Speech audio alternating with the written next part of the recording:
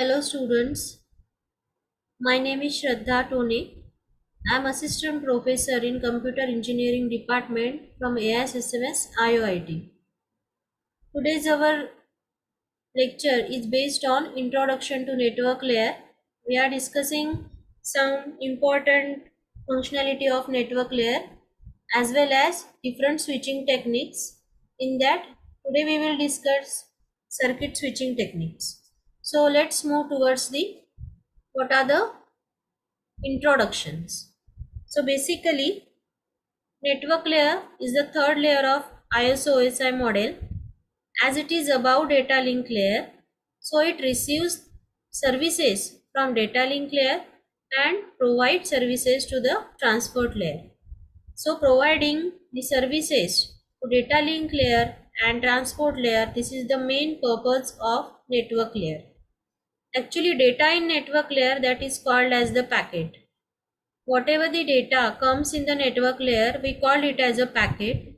And that packet is responsible for getting packets from the source all the way to the destinations. Data link layer is responsible for transferring frames from one end of wire to the other.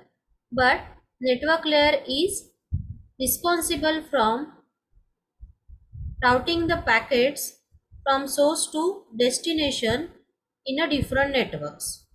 So network layer provide protocol exist in every host routers and the router examines the header fields of all the IP packets that pass through it.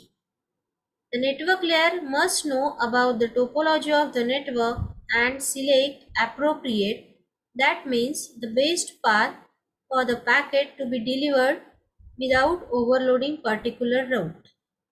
So we will discuss what are the basic functionality of network layer.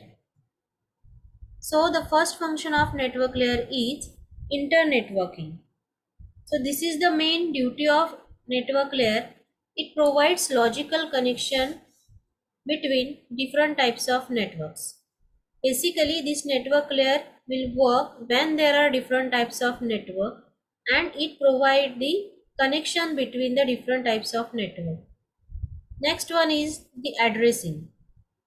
So we know that whenever we send packets from source to destinations, the address we must to specify. So addressing is necessary to identify each device on the internet uniquely.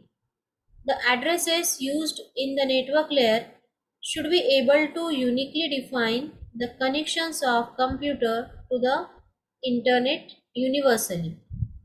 Next function is routing. In a network, there are multiple routes available from source to destinations and the important is that to choose one of them. So, the network layer decides which route is to be taken. This is called routing and it depends on the various criteria. Next function of network layer is packetizing. The network layer receives the packet from upper layer and encapsulate them to form a new packets. This is called packetizing.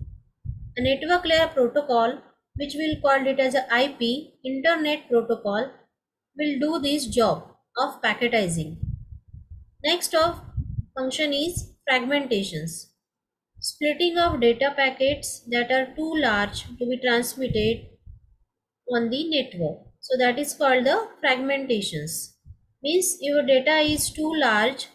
So that data is splitted into the small units that is called as the packets.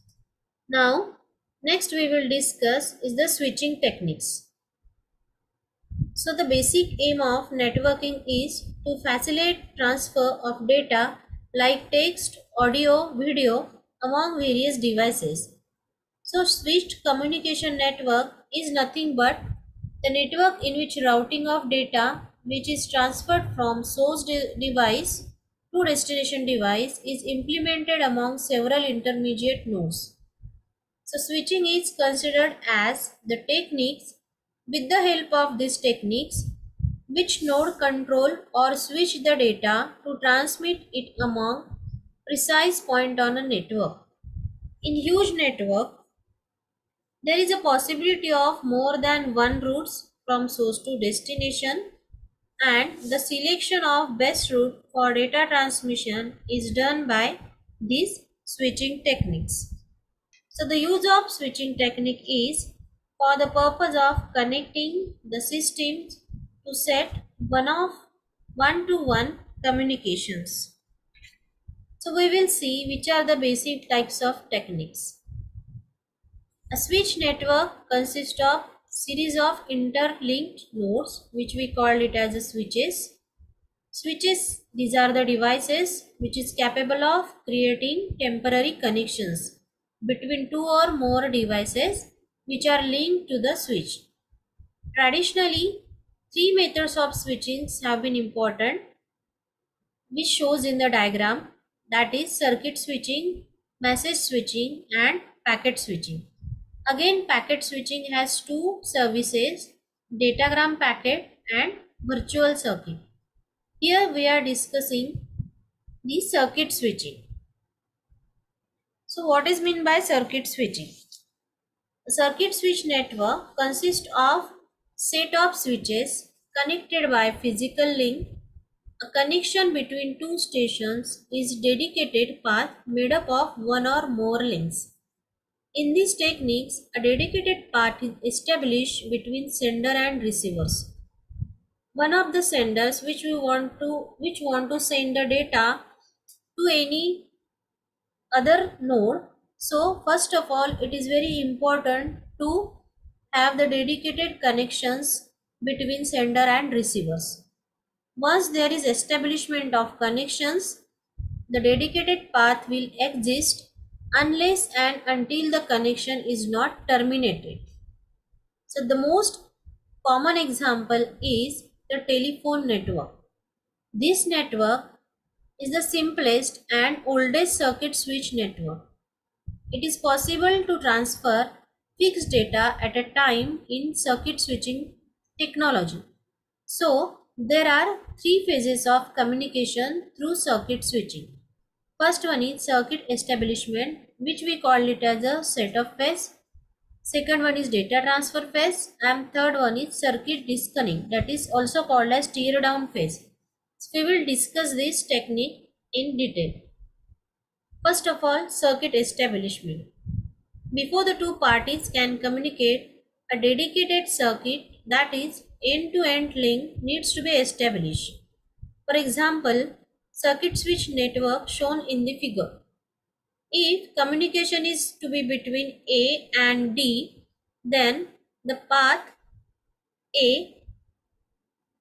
to node I to node 2 to node 3 and D has to be established first.